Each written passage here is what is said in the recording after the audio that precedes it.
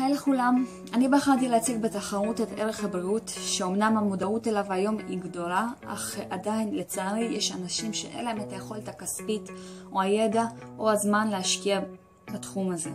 ולכן אני חשבתי לקחת uh, מאמן כושר בהתנדבות או עם uh, תרומה סמלית, uh, שיאסוף קבוצה גדולה של אנשים שרוצים באמת להשקיע בעצמם וייתן להם את הטיפים איך להתאמן נכון ללא עזרה מקצועית, התרגילים שאפשר לעשות לבד בבית כשאין זמן, ככה כמה דקות, שלוש פעמים בשבוע, זה כבר יעשה שיפור משמעותי.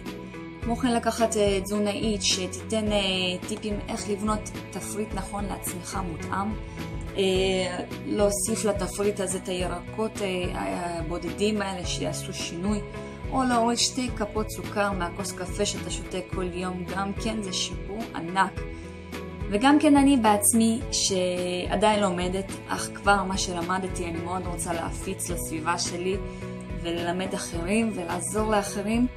אז אה, תצביעו לי על מנת שאני אוכל לעשות את השינוי הקטן הזה, אבל השינוי הקטן הזה יכול לעזור להרבה אנשים.